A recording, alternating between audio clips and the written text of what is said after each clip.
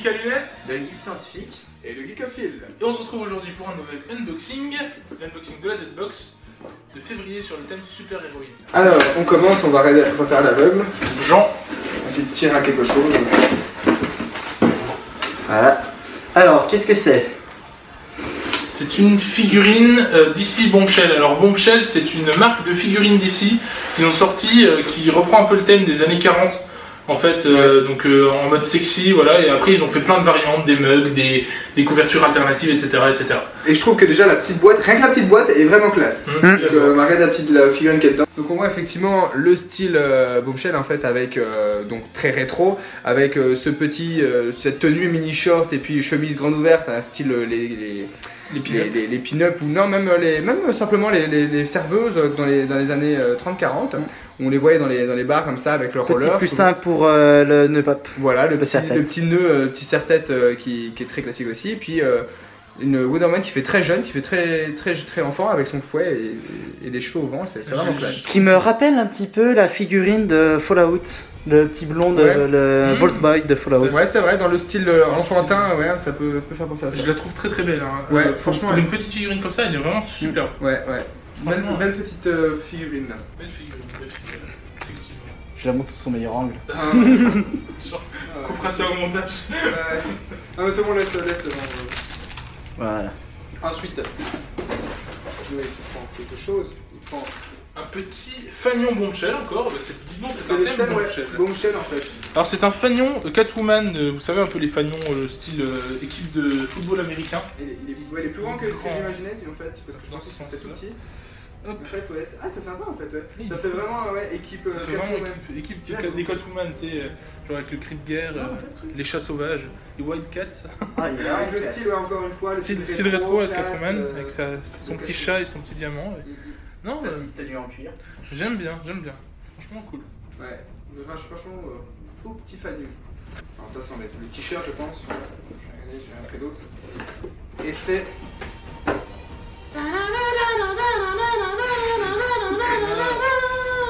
Vachement cool. Hein. Wonder Woman. Et là par contre, Je vous avais dit que c'était son meilleur profil. non mais oh ils ont vraiment cadré ses fesses. là. Le- ouais, c'est ça, c'est- euh, Donc, on a effectivement la Wonder Woman qui euh, s'oppose à un tank. Petit plus simple pour la symbolique euh, du gros canon qui se prépare. Allez, j'y peux rien, hein, c'est. euh, voilà. J'avoue qu'il y a quand même un gros symbole sexuel. Attends qu'il va lui, il verra plus que ça. Donc, un très beau t-shirt, je disais. Qu'il comptait mettre et qu'il ne mettra plus maintenant. Voilà, que je comptais mettre, que je sais pas si je vais le mettre maintenant, mais bon, on va le mettre quand même là pour maintenant pour le tour de magie. 1, 2, 3 Là, je. Il est beau, hein Voilà, Franchement, pas le mal. petit t-shirt.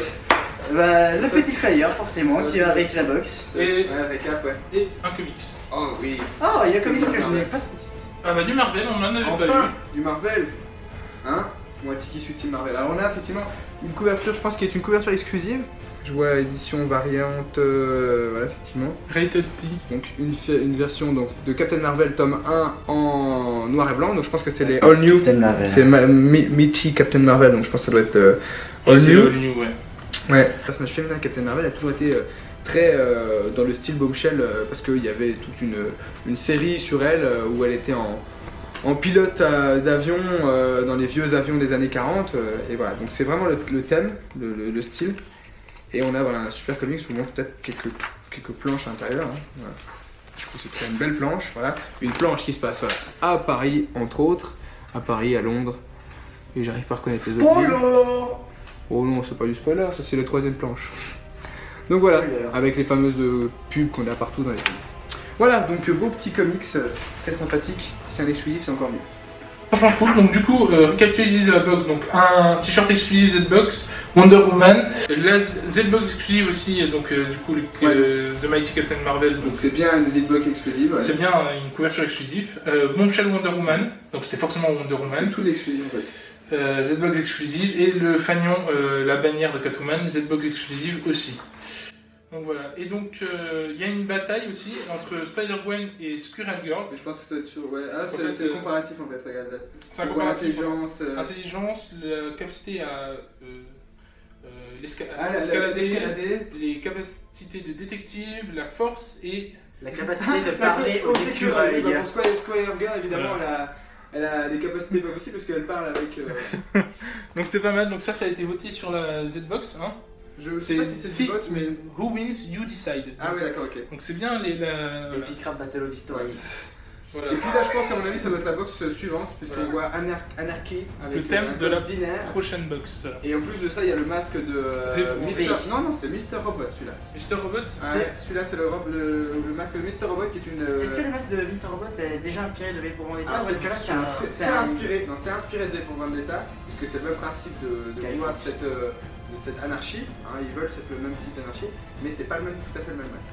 Donc du coup une box euh, assez faiblement remplie on va le Ouais, dire, c'est ça, ouais. mais avec des articles sympas. Voilà. Voilà. L'avantage en fait c'est que c'est tout exclusif, mais par rapport au prix, parce qu'on paye le prix de la box qui doit être autour de 20. 30, 20, 30 20 plus euros, ouais, c'est ça, plus les frais de port, ce qui monte à 35, 36, je sais plus que exactement. Ce qui est quand même assez coûteux pour le contenu relativement faible. Euh, ce qui est dommage, mais, mais c'est tout exclusif. Donc aux États-Unis, à mon avis, ça vaudrait. C'est le coup. c'est l'Angleterre cette hein. Euh, pardon, en Angleterre, qui- comme il n'y a pas les, les frais d'envoi, ça coûterait, à mon avis, encore plus le coût. Mais euh, j'aime bien le contenu. Voilà. Mais Mais, moi, je trouve qu'il n'y a pas grand chose. Moi je trouve que le t-shirt et la figurine sont vraiment cool. Ouais, voilà. pour ça, Puis après, bon, moi, le comics me, me va bien, donc euh, donc c'est c'est sympa quand même, ça reste sympa. Voilà, voilà. Écoutez, vous pouvez vous abonner, euh, partager la vidéo, mettre un commentaire. Qu'est-ce qui vous a le plus plu dans la box personnellement? Moi, c'est la figurine. Euh, moi, c'était. Ouais, la figurine aussi. Franchement, ouais. J'aime beaucoup la figurine également. Ouais, voilà. Voilà. Euh, Moi, c'est. Dites-nous dans les commentaires ce que vous avez préféré. Il y a d'autres vidéos qui vont bientôt s'afficher. C'était le Geek à lunettes. Le geekophile. Et le geek scientifique. À la prochaine. Finité, incantate.